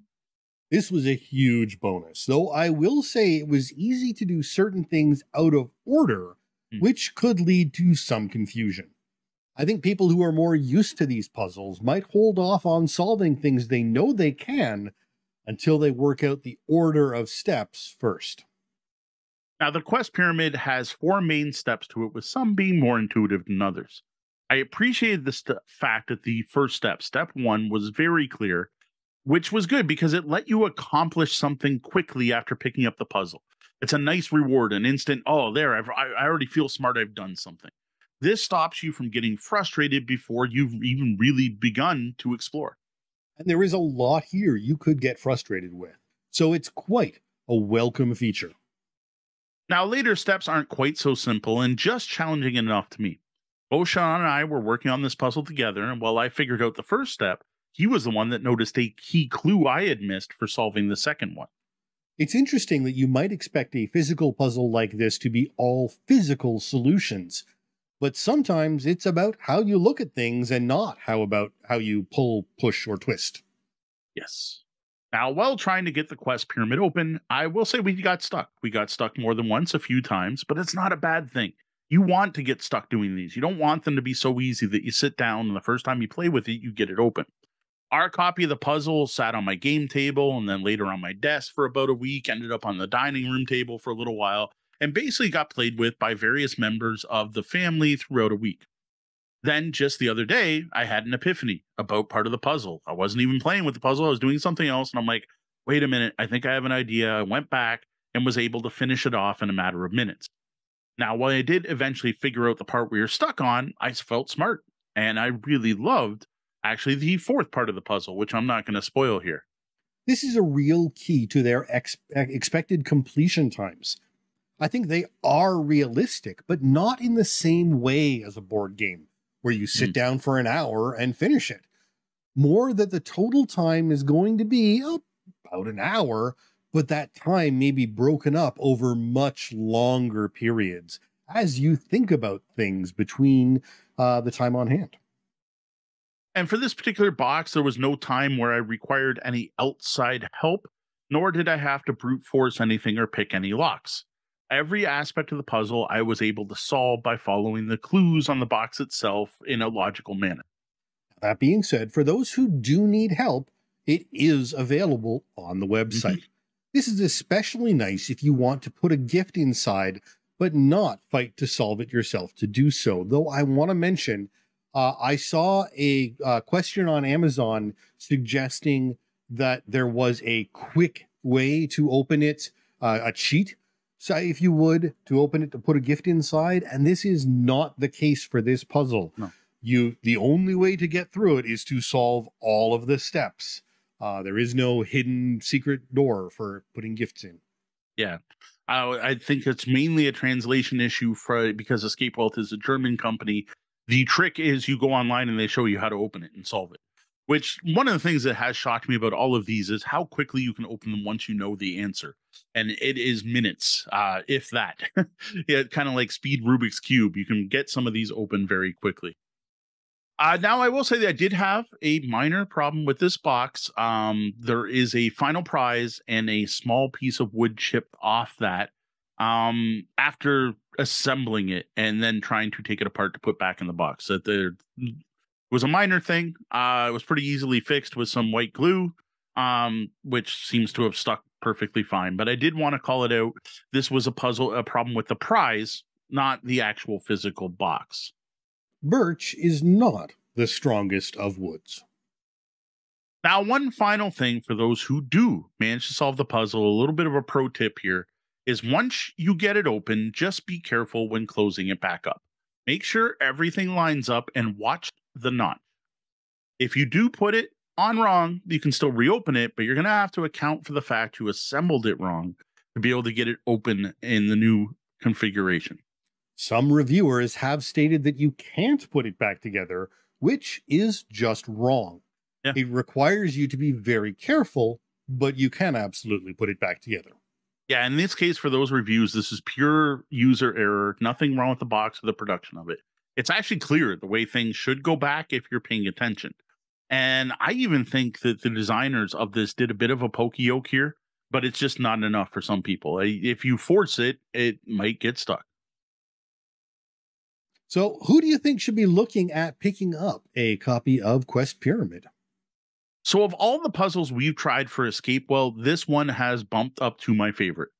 Um, Escape Welt, when they reached out to me, said that this was their easiest puzzle to solve, and I got to agree that it was the easiest, but I wouldn't call it easy. That said, we are still pretty new at this type of puzzle experience, this type of game experience. Really, I had not done one of these um, except for my dad having a wooden puzzle box he hid his money, his American money in when I was a kid. These type of puzzle boxes are a new experience to me. I have a feeling someone who plays a lot of these kind of puzzles would not find this much of a challenge. Like they're going to look at the clues in the back and know pretty much what they have to do. But for me, my family, and my friends, I found the difficulty to be pretty much perfect. It's a fantastic starting point for this sort of puzzle and great for all appropriate ages as a result. Now, unlike the Fort Knox box and the House of the Dragon, these are other Escape Welt boxes reviewed in the past. I didn't feel the need to look up anything online or watch any videos. Now, in particular, the Fort Knox box, I got stuck because there was a piece that moved that I didn't realize should move, and I found that out through a video. Whereas the House of the Dragon, we solved without having to look up any clues, but we solved it by basically picking the lock, by, by brute forcing one of the solutions. So I went to look up online to figure out how we were supposed to get the answer which was actually kind of interesting. Now, this one, we solved the puzzle without any outside help, other than the fact we teamed up and compared notes, and we did everything in a logical order. Nothing was, you know, tried every possible combination. I gotta say that felt really good. And the teaming up wasn't required, it just shaved a bit of time off that final solving time. And it's thing we mentioned before on the show before. Sometimes just another set of eyes and another another look, fresh set of eyes makes a big difference. Now, what I honestly like most about the three boxes I played with is they make fantastic gift boxes when they're done. And I got to appreciate the pyramid has a slightly larger space than the other two puzzles. And I got to say, the actual final prize was also neater than what were in the other two boxes. Though I must say, you cannot fit a gift card into this puzzle box. No, you cannot. Despite what you might see on the Escape Welt website, you can, but you're not closing that box. Unless you like your gift cards folded in half, I suppose. Yes. Uh, we did admittedly find some of the other prizes in these games quite disappointing, but I expect most people aren't doing these for the gift, but merely for the satisfaction of completing it. Yeah, it's it, it's kind of like Cracker Jacks in that way. If you think of it, the enjoyment is eating the Cracker Jacks. The prize is just a little bonus. People enjoy eating Cracker Jacks. Oh, I like Cracker Jacks just like pink popcorn. Same mm. reason. Now, overall, I think the Quest Pyramid from Escape Welt is the perfect entry level wooden puzzle box. It's a great looking physical object. It's easy to manipulate in most cases, has a very clear set of clues that get you started solving right away. Overall, the difficulty is low without being too easy, just hard enough to make you feel smart when you finally figure out the solution and probably taking you more than one sitting, which honestly gives you more game for your buck. If you're puzzle box curious or know someone who is, this seems like a great purchase to me. If you're like us and just discovering this genre of game, this will also be a good choice. It was a refreshing change after trying some of the more difficult boxes, including one that we've been stuck on for quite some time, though I did finally make the next step on that one just yesterday. I think the chunky nature of it is a big benefit over some of the others as well, since you don't have that same hesitancy about breaking it that some of the other puzzles really personally gave me when I got my hands on them. Yeah, I can totally agree with that. I also think this is a good place to try out the genre. If, if like us a year ago, you'd never played around with these wooden birch laser cut puzzles, um, you you don't know what you're missing. Like if you've never held a good wooden puzzle box in your hand, eh, you don't know it. Like, like once you touch one of these, you can't help but start pulling, pushing, sliding, tugging, flipping, reading, looking for hints. Um, for a great example of my first experience, check out my unboxing video for House of the Dragon. That was the first one I opened, and I had a really hard time to not just fiddle with that on live stream. It really is something you can leave on a table, and it will be irresistible to just about anyone. Now, where I'm not sure on this one is for fans of wooden puzzle boxes. There are a number of you out there. I've seen you on YouTube now that I've started deep diving this particular style of game. I don't know if this one's going to challenge an experienced wooden puzzle box fan. I think this might be a little too simple. But even if you are an experienced player, maybe this is the one you pick up to give to other people to get them hooked on your hobby. It's the one you have sitting out for guests to lure them into your hobby. Now, for any of the above, if you do decide to pick up one of these puzzles direct from Escape Welt, remember, you can save 10% if you use our special discount code BELLHOP, one word, B E L L H O P. That's it for our review of the Quest Pyramid wooden puzzle box from Escape Welt. So far, the most approachable escape box we've gotten to play with yet. Do you enjoy these kinds of puzzles? What's your favorite? Tell us about it in the comments below. And for those of you catching this episode as soon as it goes live, I also encourage you to go to tabletopbellhop.com and check out our 200th episode giveaway, where we're giving away not this box, but another box from Escape Welt the Fort Knox box. I also invite you to check out my written review of the Quest Pyramid over on the blog as well, which I will keep spoiler free. And now the Bellhops Tabletop, where we look back at the games we played since last episode. We got to start inserting another coffee break in there somewhere, or at least a drink water. If we do two reviews, I think we need a lobby check in, even if no one's saying anything, just to like, I get, I'm like, my voice is dying. Right throwing that in there. Sausage making. Also, hi Chad, how's it going? All right, so games we played since last episode. Let us start off with the surprise game night that that I I I do not celebrate the same holidays as all of my friends, and I totally forgot about it. So Tori and Kat came over last Friday, and they made a big deal about how yeah we can actually come because um um, one of their parents has COVID. Yes, another reminder: the pandemic's not over. We went through it ourselves just a month ago. Missed five weeks of work because of it. It was kind of terrible. Um, so so they're like, oh yeah, we can actually make it, and I'm like, okay, cool. Dad's got COVID. That part sucks, but it's cool. You can make it. So then they show up and they take multiple trips down my stairs, bringing things in. They're dressed all in green. Um, Pat's got a like, yes, I'm really Irish shirt on. Tori's wearing something else green. Pat brought in a mug that she bought in Ireland, and Tori brought in beer. And I'm like, what? Oh, it's St. Patrick's. And then I remember that yes, uh, uh, family is is Irish, and Kat's dad, who has COVID, should be serving the corned beef right now. And, and I'm not joking. They they they go all out. Corned beef, cabbage, potatoes every year. Big family deal for them. I obviously it was a holiday to them, and I was like, it's Friday night, yay! Yeah, I, I, often forget. Uh, we made the mistake one year of being at Breakout Con and deciding to go out for uh, drinks and walk into an Irish pub on St. Patty's Day, yeah. which was uh, you know, we we luckily missed the rush, but did have to put up with the uh, live music, live music, and vast amounts of strange decorations everywhere. Yes. Well, if it wasn't for that, we wouldn't be here talking now because that was the night we decided to do a podcast. It was. So I guess it was fortuitous. uh, so added to this, they even brought games. One specifically, a game they play once a year on St. Patrick's, which is Korrigans from Matagot. Uh, this is a game I know of because I have shared deals on this game many times, and in my head, it was this little small box game. Now, this was a big box game, um, super cute. It's it's it's uh looks kind of childish, but you've got this this multicolored board. You've got these little Korrigan, which is an, another name. It's it's not a name for leprechaun, but like fairies or fae folk. You've got Korrigan miniatures and two different uh, two different sculpts. Sorry, ten different sculpts total two of them for each of the five players, a like pre-painted pot of gold and big colorful board. And we're like, oh, this looks great. Well, it ends up that neither Cat or Tori remember how to play because they play this on St. Patrick's with Cat's family, and every year they need to relearn it. So I stepped up to the plate. I'm the game teacher in the thing, and I, I can read rules pretty quick. So I actually sat there and read the rules, and then we played through Korrigans. So now Korrigan in Breton means small dwarf and is related to the Cornish word coric, which means gnome. There you go. So I knew it wasn't leprechaun because there's leprechauns in the game. Whereas if if there weren't, I would have assumed it meant leprechaun. So I gotta say that this game does look like a kid's game.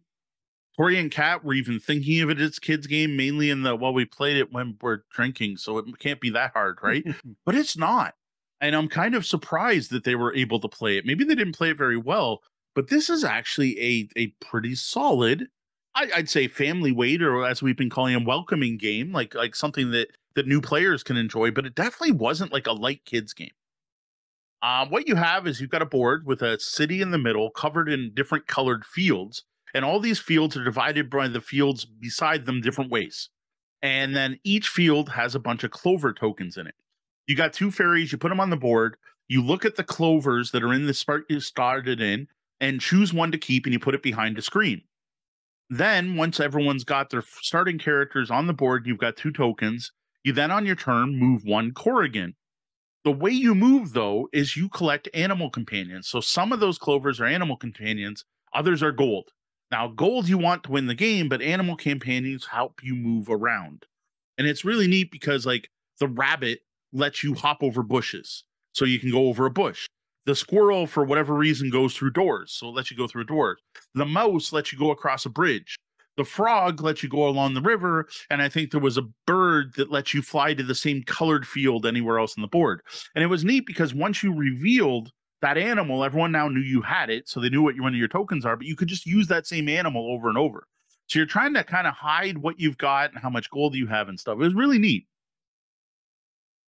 Now yeah, at the start of it, it, what's interesting is the uh the the painted miniatures on Board Game Geek are really interesting. Yeah. now each round you're going to draw a colored chip and they're in the the seven colors of the rainbow. And of course, when the rainbow shows up, you know what happens. It's an Irish themed game. The pot of gold shows up. Now you have a rush to the end. You are trying to get both your Korrigans to the pot of gold. And if you don't, you get a point penalty. Or if you get there, you get a point bonus, however you want to look at it. And here it's neat because now you reveal all your animals and you have to use them in order to get there. And you just have one turn to do it. So, like, you're trying to plan it so, like, I know I have a bird and a mouse, so I'm two away from this one, but my other Korrigan's going to need a rabbit. So you're trying to hide the fact you have the rabbit because even the person who places the gold is going to try to play it. Was just neat. It, it was it was rather solid. It, it was actually a good game. It was simple to learn. Um, I, I got to admit, it would be a good gr- drinking game. It is a good social game, as Sean says. It's a game where you can talk and socialize while you're playing. It's not that that heavy. Um, it's got great components, like like really nice components. Um, there's even promos where there are an additional, I think it's an orange Korrigan, and you can get it in 10 collectible sculpts to go with uh, our acquisition disorder we were talking about earlier in the show. If you want to collect them all, there are 10 promo Korrigans out there. I, I just they showed up thinking, ah, it's a kids game, and I'm like, no, this isn't a kids game. This is solid. I got to say, if you do themed game nights, like if this is your thing, if you do a Halloween game night and you do a, uh, at St. Patty's game night or where you got to pick this up. Like I, I am glad they have a copy. Except I'm sure every other year they'll be celebrating with their parents, so we won't be able to borrow it. But I'm like, I would totally bring this out to any in, in mid March game event. You bring out Korrigans. Yeah, absolutely. This was uh this was this was a shocker to to hear about. It's only a one five six weight, uh, but considering that, uh, you know, a six point three on Board Game Geek for a game that's, that's that bad. light is yeah. not bad at all. Yeah, yeah, it's it wasn't great. I'm not saying rush out buy Korrigans. it's amazing. Everyone should own it. But like for what it is, it was good. Yep. All right, next game we played was not Irish, but about beer, which fit the night. And that is the Belgian Beers Race. Um, this is from Grand Gamers Guild, who I have to thank for a review copy. Um, one game we are going to review. The problem is I need to get it played more often. This one just hasn't come out. This is only our second play of the game. Um, of course, our first play, one of the bellhops rules is we played extreme. We played extreme so much that I don't even know if I want to count that first play as counting as playing the game because we messed up the timeline rules. So in every other timeline rule game I played, and I know Sean's played at least Tokaido, the person in last place takes a move. Now they're no longer in last place, so the new person in last place takes a move. That's not how it works in this game. In this game, the person in last place is active and continues to take moves until they're in first. And that is totally different from every other timeline game I played and really changes the game. Yeah, that's a that's a huge difference. Yes. Uh, for people who are used to, you know, who are hobby gamers and yep. get used to a certain mechanic just working in a certain way and that's exactly what happened. I read the rules for for because it's literally called the timeline. I read the rules for the timeline. Yeah, yeah, it's a timeline game. I played Francis Drake. I played uh Glen More. I played uh Shipyards. Like I, I like this mechanic. I, I played Tokaido. So like there there's four other really good games that use this mechanic. So yeah, we messed that up. So I gotta say, I, again, playing by the proper rules made the game better. This is that's gonna be like a bellhop. If no one else has claimed that rule, we gotta claim that as like bellhop's law number three playing the game by the proper rules makes it better. Who knew? um, so yeah, it was better. Biggest thing is you just had better flow and you could plan out like more moves in a row and it made the game faster. You did a bunch of things in a row and it felt good. As opposed to I go to do a thing, now you do your thing, you do your thing. Okay, I go to do a thing. And in that game, it was like, do a thing is like, oh, I got to the brewery, I gotta wait now. Okay, I taste a beer. Okay, I gotta wait now. Okay, now I'm gonna go shopping and get beer to go. Okay, now I gotta wait. Okay, now I'm gonna try to hitchhike over there. Oh, no one picked me up. Whereas now it's like, all right, I'm gonna go to this brewery. I, I'm gonna ride my bike. Okay, I got there. I taste a beer. Then other people do a bunch of things like, okay, I'm gonna get some to go. Then I'm gonna bribe the guy so that I can get a ride to get over to this brewery. I'm gonna collect the collectible glass because no one's been here before. And do I have time units? Yes. Okay, I'm gonna buy some cheese. Like you just did more and it just felt better. And I've got to say, for a game that you can play while drinking, you didn't the old way, you tend to forget what you were doing. And you forget things like, wait, did I buy a beer here yet? Because there's a rule you can't buy beer at the same brewery twice. Well, you can, but like it's not worth anything because this is all about tasting beers. Why would you buy the same beer twice? So big improvement. Play by the proper rules. Next up, we noticed a rule we missed. Now, we didn't play extreme, but we didn't use it. And that's that thing I talked about where bribing. You can pay beers out of your backpack to improve your odds of getting picked up when hitchhiking. Man, did that make a huge difference. I think that made more of a difference to the game than the timeline rule because it was so much easier to get around and we explored a lot more of the board. So that was a nice. Don't miss that rule. It's just one little line in the middle of all the different rules in that game for how you move that when hitchhiking, you can pay. And what it is for every time unit the hitchhiking would take, you have to pay two beers. And if you pay it, that you just you get picked up for free. You don't have to roll the dice. That's nice. So that was that was a good, and it made sense. Again, the thematic stuff in this is cute, right? Like, well, I, I, bribing the driver when you're hitchhiking does sound a little off. We're gonna assume they drink it later and and not while you're on the trip. Um, even though this game does encourage you to drink while you're on the bus, so I guess that's a Belgian thing uh, overall, we're digging this game. Um, Kat and Tori now have a spish, uh, like declared, no, we like this. This is a good game. Like, like we want to play more. Um, Tori in particular really enjoyed it. But what was interesting, and this kind of goes to what we were talking about earlier again, they're like, I don't want to buy it. I don't need a copy of this game. I enjoy the game. I like the game. Tori in particular likes playing the game over beers, which fits, but he can do that with me.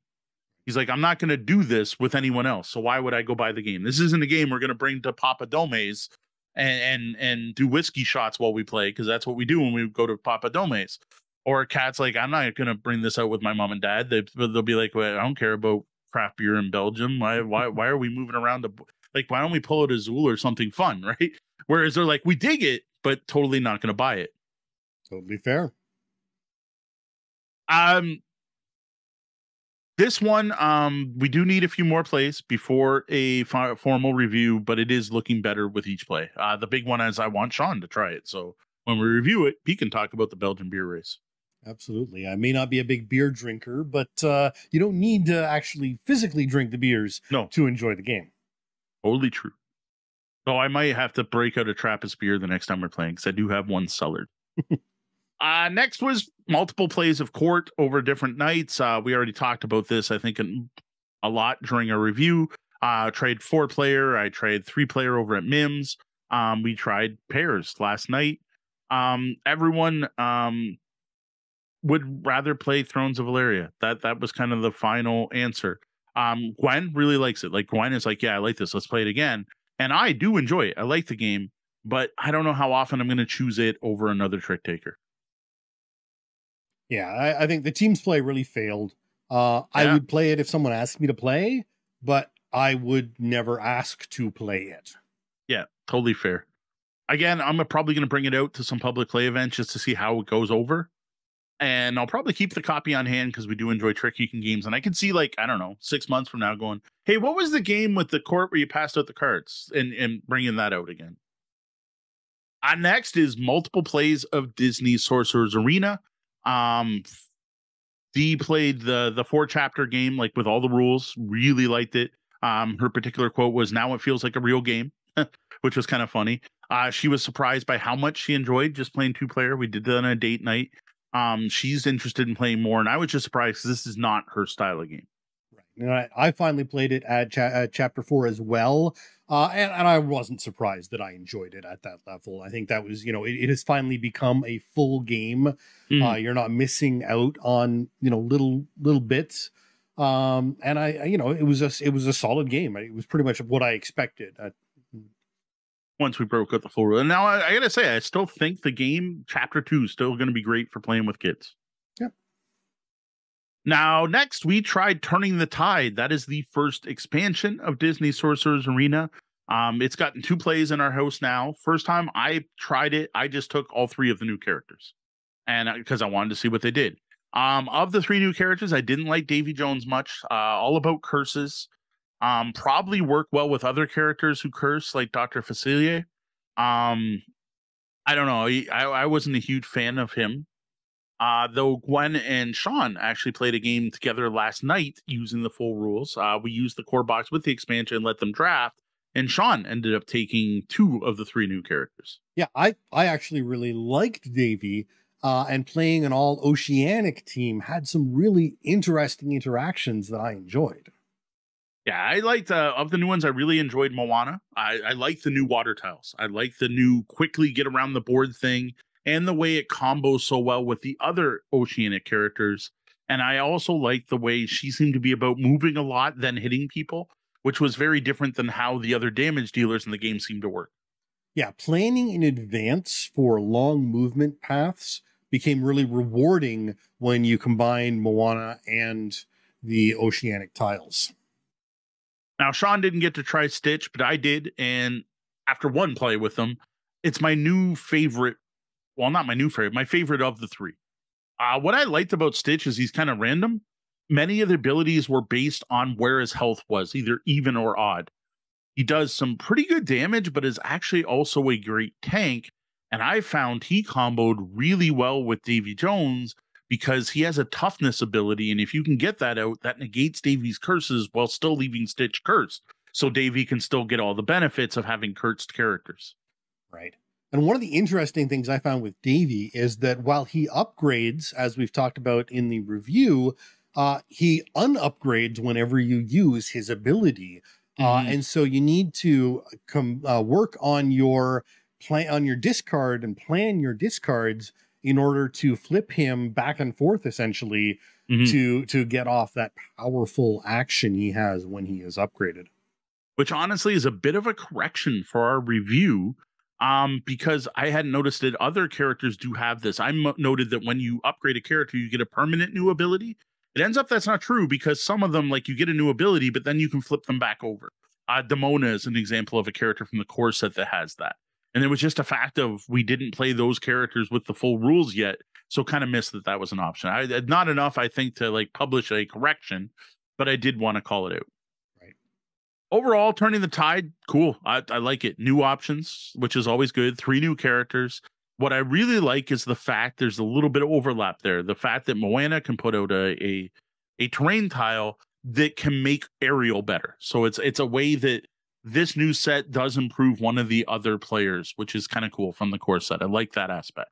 Yeah, and again, as we said in our review, this is just a solid, accessible skirmisher that has so far I've been getting better with its expansions. yeah i at this point i just need a few more plays we'll probably do up a review possibly as early as next week maybe a little bit after Well, that's it for what we've been playing. Now let's have a look at what we have coming up next. Uh, so last night after our game night with Sean, after he was over, um, after the two of us finally made progression on the space box from Escape Welt, which is considered their most difficult box, um, I managed to actually go on to finish the whole thing. So that's actually now ready to be reviewed. Uh, we may cover this one next week, or I may hold off just so we're not talking about Escape Welt puzzle boxes two weeks in a row.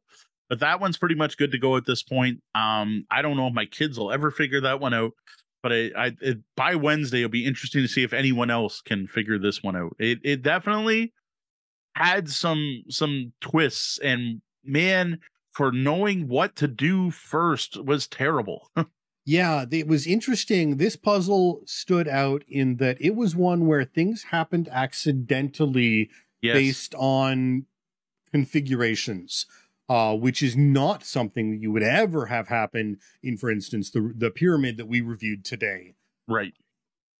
Yeah, there was we we accidentally solved sections of the puzzle without trying, and like we're fiddling with it, and suddenly something popped out. We're like, "What the heck did we do to get that to work?" So Yeah. yeah, It's an interest that that's an interesting aspect of this puzzle compared to one that is arguably easier. Mhm. Um, whereas the things just kind of get solved if you play with this one. the, the fun part with this one was there was an aspect of it I was certain was happening and Sean was certain was not, and it ended up I was right. And um, I, if you Google it, you'll be able to find it. I don't know if that's considered a spoiler or not. I, that is the other thing with the review. I got to decide what I'm willing to share and not willing to share on this particular puzzle. It's a tough one. Uh, there was a lot of different, uh, you know, whether debating whether or not we should try lock picking versus yep, trying to solve. It was it, an interesting uh, selection of issues. yeah, and there was a lot of stuff we were doing that was completely, totally wrong, but seemed to be working. Yep. which was kind of surprising. Um, now another thing I have, there's a copy. Can I reach a copy in here? I don't know if I can reach a copy in or around here. I have copies of Downforce, and I'm saying copies because I picked up one for myself, but I picked up a bonus copy, and I need to get this played before April because we are going to do something new at the next Barbershop Bar event. Uh, for those of you here in Windsor or possibly in the local area to make it worth driving into Windsor, and that is have a play to win table. We're going to have a copy of Downforce out. I'll teach you the game, and everyone who plays will enter to win a chance to bring that copy home. I have greatly enjoyed Play to Win myself, and it'll be cool doing an event like that ourselves. But the thing is, to do this, it'll help if I know how to play the game. so, one of my goals for next week is to at least uh, learn to play Downforce. I may or may not do an unboxing for this one. This one's not obligation. Purchase the games out of our own pocket. So I, I don't know if we're going to do an unboxing or not. Yeah, play to win is a fantastic uh, thing. Though we first ran into, or I first ran into at Queen City Con, uh, where they had a large number of uh, aspects out that we could uh, play and uh, play and win, and I, that's how we, we got our copy of Networks from. Yeah, networks and um, there was something else. We had two we brought home, didn't we? Yeah, I I got Networks that gave to you guys, and I forget what D. Yeah, there was two two games we brought home, which, but it was just fun playing games to try to win them. Like there was there was the contest the the um the the contest. Um, so Roger in the chat's asking if we got it in Essex. No, we paid significantly less than that, which is why we were able to purchase multiple copies. I am not willing to give away my source on that. Sorry, local gamers, because we may go back and pick up additional copies. Uh, at the price we paid, they're worth like giving away. And and I'm not saying it's a cheap game. This is Restoration Games. This is one of their most popular games. This is a classic 80s game, rethemed, rebuilt with fantastic components, supposedly real good. I have no idea why we're able to find them so cheap. There we go. Now, I do think, as we kind of called out in the feedback section, we do kind of owe it to Daily Magic Games to play Shadow Kingdoms of Valeria with the Rise of Titans expansion. We've had that for quite some time sitting here again. There was a reason you couldn't get it for a long time, but now that you can, we really should get to that one. I think we're going to bump that one up the obligation pile to at least be able to talk about, even if we don't get a review out right away. And with that, another Daily Magic game, we reviewed two of the small box games, but we haven't started on the third, which is Siege of Valeria. Plus, I've got an expansion for Dice Kingdoms of Valeria, which I did try to play on Friday night, but Sean had my copy, so we didn't get to play it. Unfortunately, I had the uh, I had I had the uh, the the uh, public games boxes in my uh, possession, and uh, in in that was the Dice Kingdoms Yep. box. Uh, then there's Disney Sorcerer's Arena. I want to play some more Turning the Tide, and then maybe I want to open up the next expansion and play some more of that. And then if I get through that, maybe I'll open the other expansion. But really, the focus will be to play around more with the Turning the Tide expansion to see how it affects the games, and then get up a review of that one. Yeah, and I'm looking to play uh, now that I've now that I've played with two out of the three turning the tides. Uh, I'm interested in in seeing how that how to play against some of those Yeah. turning the tide expansion uh, players. Uh, but also, I want to see the other expansions myself. Yeah, we're gonna do one at a time. I'm not gonna toss it all into the pot. We'll do them one at a time. Uh finally, uh Friday, we should be gaming together. I think everyone's Tori and Cat are free. I think Sean's in town this weekend. Yep. So I am hoping to let Sean try the Belgian beer race uh, along with Tori and Cat. So that way you can get your thoughts out before we do a review. Which all of that together is probably way more than we fit in one week, but we'll see. We can try. Fair enough. This show wouldn't be possible without our Patreon patrons, our VIP guests. So here's a quick shout out to five of them. Brian Van Beek, thank you, Brian. Diane Tuzano. Thanks, Ma. The Misdirected Mark podcast, thank you, friends from Buffalo. Dukas, thank you. Evil John, thank you, John. Well, that was the double bell. That means our shift's coming to an end and we're going to have to lock the lobby doors. While the doors are closed, you can always find us at tabletopbellhop.com, all over the web as Tabletop Bellhop one word, and on your podcatcher of choice as the Tabletop Bellhop Gaming Podcast in the correct order now. How was our service tonight? If you appreciate what we do, be sure to tip your bellhop over at patreon.com slash tabletop bellhop. Also, wherever you happen to be listening, viewing, or watching this, it'd be awesome if you did the whole show your appreciation with a like, thumbs, retweet, or whatever you can do to show your support. That's all for us tonight. Thank you, lobbyists, for joining us live, and I hope to see you back next week. For the Tabletop Bellhop Gaming Podcast, I'm Sean. And I'm Moe. Thank you. And game on.